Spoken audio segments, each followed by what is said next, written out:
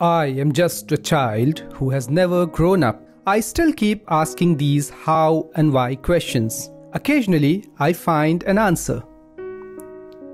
A man who failed many times in order to succeed. Born on 8 January 1942, Stephen Hawking did not learn to properly read until he was 8 years old and was a below average student in high school.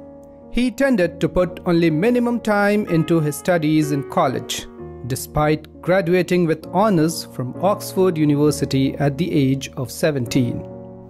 Hawking was just 21 when he was diagnosed with ALS, and the doctors estimated that he had just two and a half years left to live. Amyotrophic lateral sclerosis causes nerve cells in the brain and spinal cord to weaken and eventually die. When these motor neurons die, the brain can no longer control muscle movement and the body is paralyzed. The news was, of course, devastating. His girlfriend, who became his wife, helped him to cope with the adjustment and fight depression.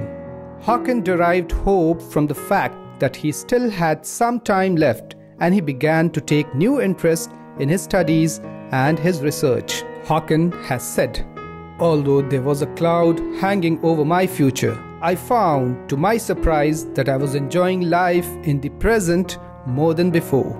Hawking shows that setting your mind to a goal and going for it is what being human is all about. After his diagnosis, Hawking began studying black holes and the origin of the universe. As his health diminished, he began using a wheelchair. His life and his research flourished. His research received public recognition in 1974 when he demonstrated that black holes are not information vacuums as once thought, but they emit a stream of particles. His discovery and publications made him famous in the scientific community and eventually around the world. His subsequent theories continue to further the world's understanding of the universe.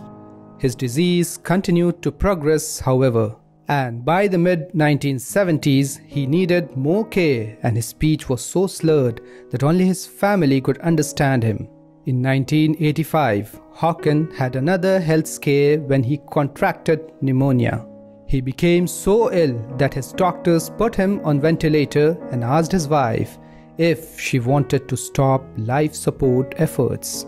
Instead, she had him flown back to Cambridge where he received a tracheotomy, an operation that helped him breathe but permanently took away his ability to speak, prompting the creation of his famous speech synthesizer, which he operates using the remaining muscles he still controls in his cheek. For the last three years, I have been on full time ventilation.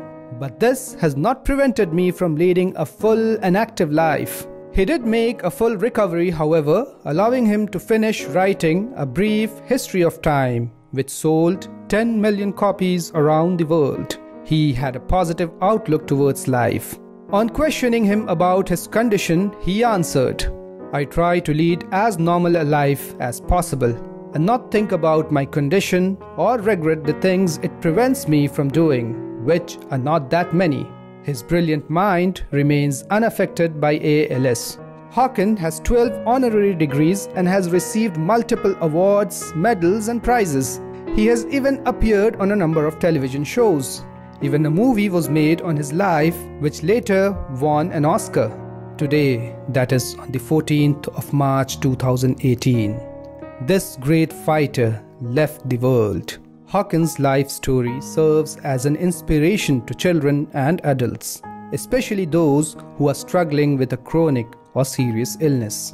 He taught the world that life is all about how you take it and what you make out of it. Hawking reminds us to stay as curious as we once were as children. He shows us how to be courageous.